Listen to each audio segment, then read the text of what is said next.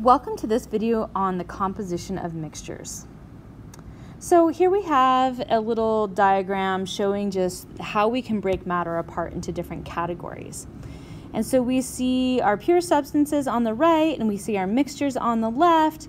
And so we're going to focus on that mixture side. So if we know that the substance has variable composition, um, sometimes that might not be something that we can tell just looking at it. We might have to do some analysis and work on that or do some separation of the mixture in order to find that out.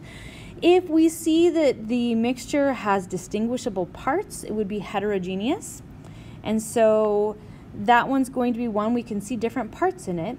And if it's uniform throughout, then it's homogeneous. And it's important to know that a pure substance and homogeneous mixture sometimes are really hard to tell apart from one another if we're just looking at them. Um, another thing that you need to think about is the fact that heterogeneous uh, mixtures, sometimes these are not things that we can tell just visually looking at them. So one example is blood. Blood has all sorts of different components, but we wouldn't necessarily know that if we didn't use microscopy. And so sometimes that scale is going to tell us different things. So we have red blood cells and white blood cells and platelets and all sorts of other stuff, plasma that are all in there. And so it's actually a heterogeneous mixture. A homogeneous mixture, um, we have a couple other terms that we a lot of times associate with this. So one of them is that it's a solution. Okay, so think of your aqueous solutions. So that's another word for it. And another one that we see if we're working with metals are alloys. And so those are metal mixtures. Now the interesting thing is we can go between a mixture and a pure substance. So we can go from a mixture to a pure substance using physical properties or physical changes. And so we can um, separate a mixture or mixtures using physical properties or changes. I'll say physical processes. We're going to take a look at a couple examples of that in this video. The other thing is sometimes we can chemically analyze what's going on in a, in a mixture. And so we can use both physical properties and we can use chemical understanding in order to be able to find out more about our mixture. So let's take a look at some physical properties. So what physical properties can we use to identify substances? Um, a lot of times we use temperature points, so boiling point, melting point, freezing point. We can use the state of matter under certain conditions. And so a lot of times we'll look at those changes, those phase changes that happen, when do they happen, how are they happening. Uh, we can like take a look at density. And so with density, remember that density is mass divided by volume. So that's going to be in units for us usually of grams per milliliter or in units of grams per cubic centimeter. Um, please just remember, just for your reference, that one milliliter is equal to one cubic centimeter. That's going to come in handy in some other places. The last ones, I just kind of threw some other things in there. Magnetism, I'm going to say crystal structure maybe would be better than size. Okay, and then I have molecular size, so maybe both. Um, color, I know they always say color is not a good one, but I will tell you I think that we use it a lot, and so we have to be very careful with color sometimes, but sometimes color will indicate quite a bit to us. So then how do we go about separating physical, um, physically separating a mixture. Okay, so we're going to use these physical processes. So the first one is distillation. We can separate two liquids using differences and boiling point. We also use this to purify water.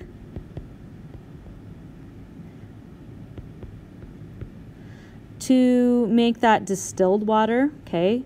Um, So DH2O is my shorthand for that. And so we'll pull out all of those different ions and things that are dissolved in there by using a distillation process. So we can use that for more than just liquids, but I think liquids are a good example.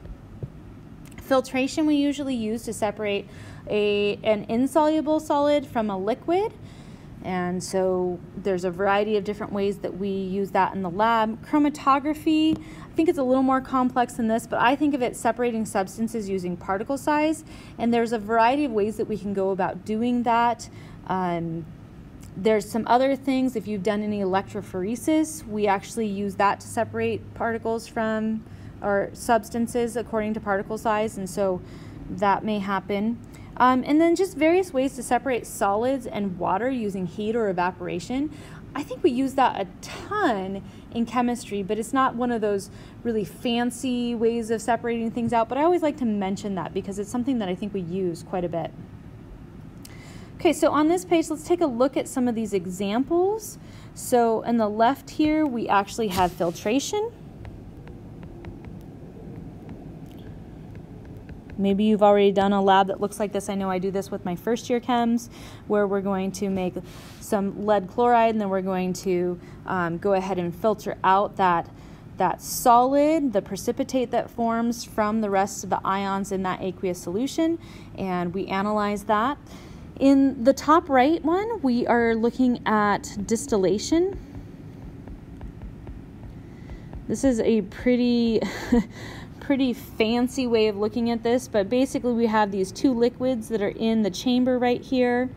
Um, and we want to separate those so we bring it up to a boiling point for the substance that has the lower boiling point and then it's going to evaporate up and then it condenses back in and we collect that over on this side and they use this to make our grain alcohols um, and a variety of other different things so They'll separate out some of the water from the grain alcohol using distillation.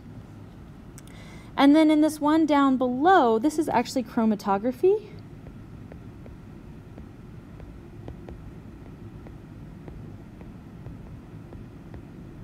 Okay, and so we have this little dot of dye or ink.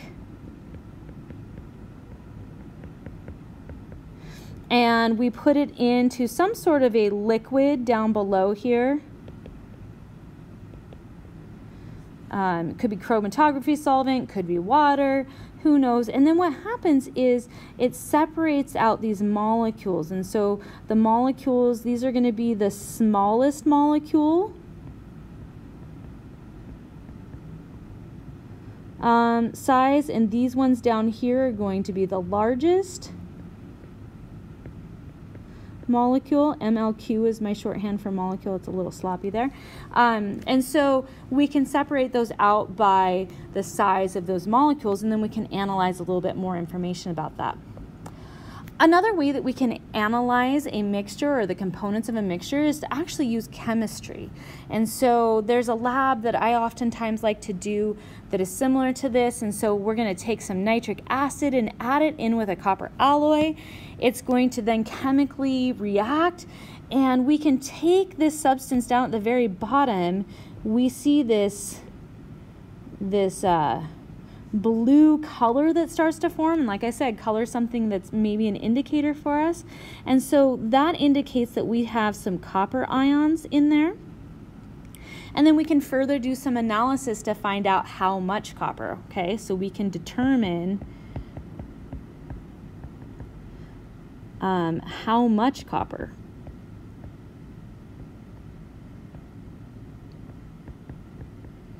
Using some chemical analysis.